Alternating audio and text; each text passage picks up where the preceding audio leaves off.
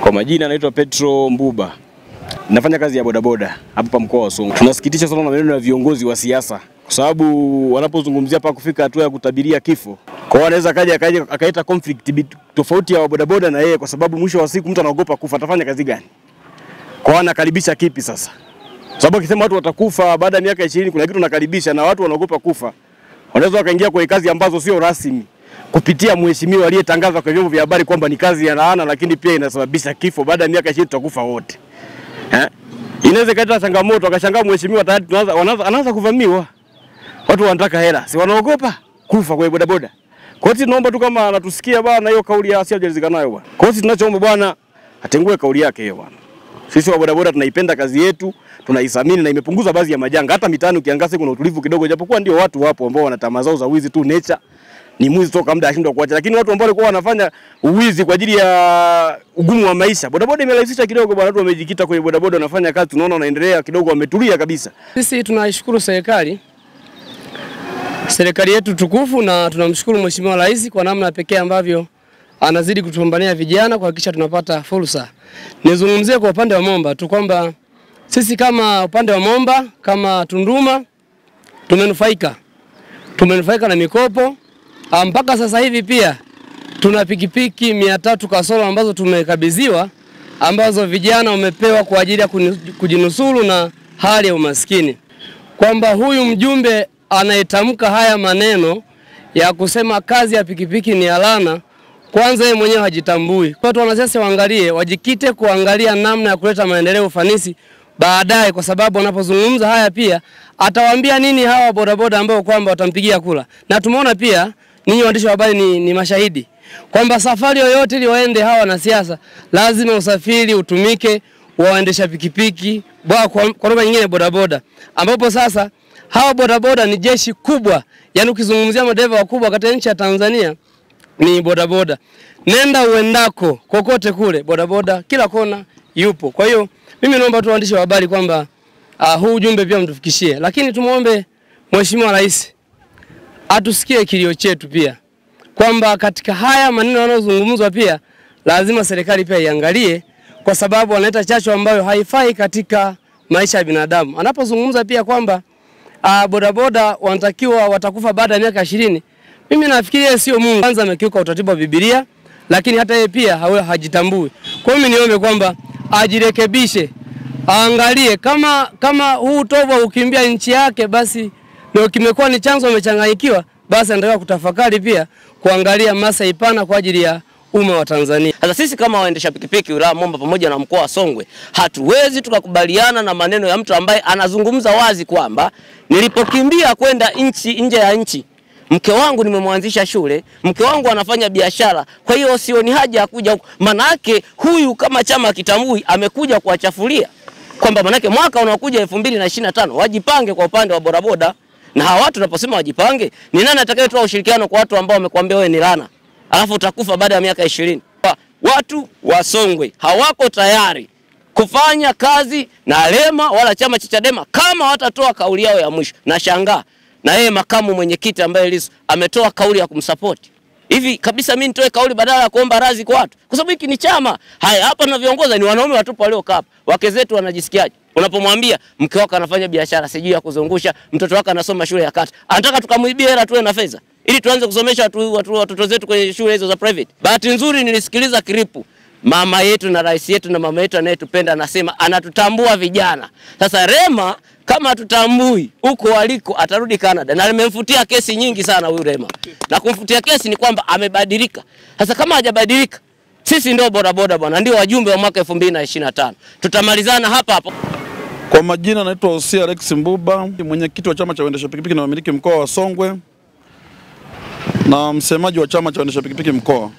Kama wajumbe waliotangulia kuzungumza hapa, naomba Lema atuombe radhi kama bodaboda taifa au bodaboda Tanzania kwa sababu ya kuita bodaboda ni kazi ya rana wakati ni kazi halali kama kazi zingine, na maana inatambulika kisheria na imeidhinishwa na serikali, na serikali inapata mapato kupitia bodaboda. Kwa hiyo naomba atengue kauli yake, na hii ndio kauli ya bodaboda mkoa wa Songwe. Kama ni ajali kama alivyozungumza kwamba waliokwenda kumpokea wale wenye laana wengine sio walivunjika mabega, sio wakafanyeje. Sasa mwisho wa siku, mimi nataka nimthibitishie tu kwamba ajali tunapata, lakini pia akumbuke hata magari pia yanapata ajali, ndege zinapata ajali, treni zinapata ajali. Sasa sijajua yeye ametuchukuliaje sisi kama bodaboda. Kwa niombe tu ndugu Lema, hii kauli siyo kauli ya kiungwana kwa vijana wenzake, kwa wapambanaji wenzake, kwa Watanzania wenzake. Hili ajaribu kulitafakari na kuliangalia vizuri sana, lakini kama ni swala la kiafya kama alivyozungumza kwamba bodaboda hawa afya zao sio rafiki, lakini pia baada ya miaka ishirini tutakuwa tumekufa. Nilikuwa nao machache ya kumuuliza kama mkoa kama bodaboda Songwe kwamba Lema ana mikataba ya maisha ya bodaboda na kama ana mikataba aiweke wazi ili tujue kabisa kwamba ah, baada ya miaka ishirini tunakufa. Lakini pia mimi nimwombe ndugu Lema kama hana mikataba na maisha ya bodaboda, pia tuthibitishie kwamba hii kauli yake ya kusema baada ya miaka ishirini tunakufa ameanza kuihesabu toka lini? Kwa sababu leo tunavyozungumza kuna bodaboda ambao tayari wameshaishi zaidi ya miaka ishirini wakiwa kwenye bodaboda.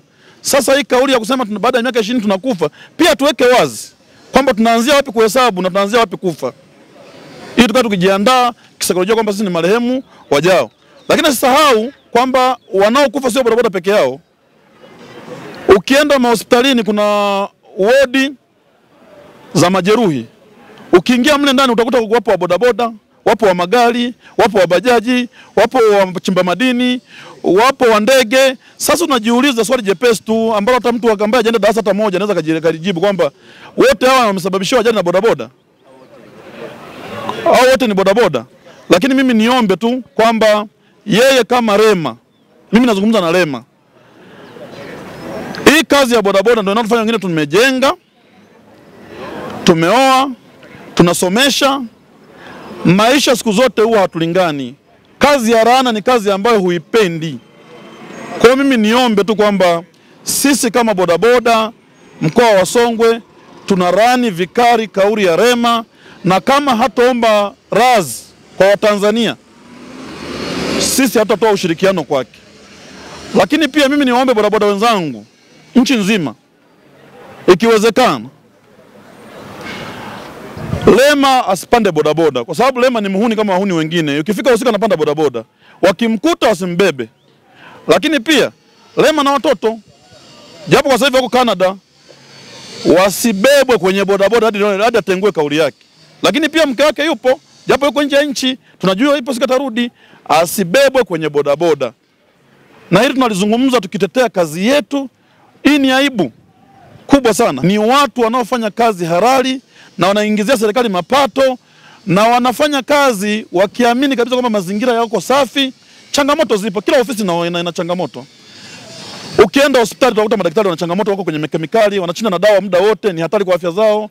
Ukienda TANESCO wao wanapanda nguzo humo, ni hatari. Mafundi ujenzi wanahangaika na maukuta, ni changamoto. Je, tu, ametuambia tuende shambani, ametuandalia miundombinu ya shambani? Na hii inatuthibitishia wazi kwamba je, Lema akipewa nchi leo, maanake atatufuta bodaboda, tukafanya kazi gani? Na hii inatupa shida kufikiria kwamba je, baada ya yeye kupewa nchi anaenda kufanya nini? Mimi niombe kwamba hii ni kazi kama kazi zingine, maisha yanaendelea. Kwa mimi niombe tu kwamba sisi kama bodaboda mkoa wa Songwe, kauli hii imetuumiza na hatujaipenda, na ameendelea kukazia siku hadi siku kwamba kila siku maneno yanaongezeka. Mimi niseme tu serikali ipo inafanya kazi na tuna imani na serikali yetu kwamba bado inaendelea kutengenezea mazingira siku hadi siku yakiwa yawe salama kwenye kazi zetu, na mwisho wa siku maisha yaendelee. Kwa mimi niseme tu sisi kama mkoa wa Songwe hatuko tayari kufanya kazi na Lema na wala hatuko tayari kumpa ushirikiano, na mwisho wa siku kwamba hata viongozi wake, washauri wake wa karibu wajaribu kukaa naye. Hili ni, ni athari kwa familia yake, ni athari kwa chama chake, ni athari kwa jamaa zake wa karibu. Asante sana na Mungu awabariki.